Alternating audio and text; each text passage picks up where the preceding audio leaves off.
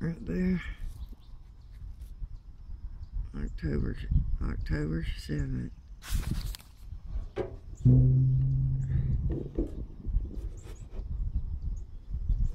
Now, you ever seen them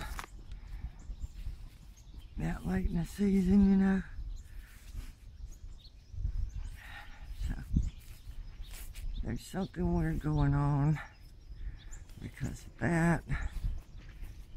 And then this snake that just shed its skin the other day. Right here. And also, the kudzu has froze, so it was 27 degrees the other night. 27.